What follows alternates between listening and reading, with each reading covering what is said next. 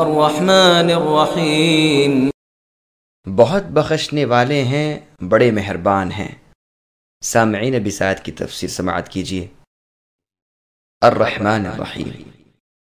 اس کی مکمل تفسیر پہلے گزر چکی ہے، اب اعادے کی ضرورت نہیں۔ قرطبی فرماتے ہیں، رب العالمین کے وصف کے بعد الرحمن الرحیم کا وصف ترہیب یعنی ڈراوے کے بعد ترغیب یعنی امید ہے۔ جیسے فرمایا نب عبادی انی ان الغفور الرحیم، الآیات۔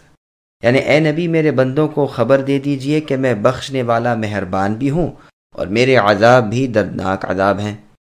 اور فرمایا، آپ کے رب جلد سزا دینے والے اور مہربانی اور بخشش بھی کرنے والے ہیں۔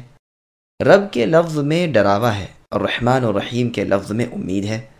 صحیح مسلم میں بروایت ابو حریرہ رضی اللہ عنہ مروی ہے کہ رسول اللہ صلی اللہ علیہ وسلم نے فرمایا، اگر ایماندار باری تعالیٰ کے غضب و غصے سے اور اللہ کے سخت عذابوں سے پورا واقف ہوتے، تو اس وقت اس کے دل سے جنت کی تمع ہٹ جاتی۔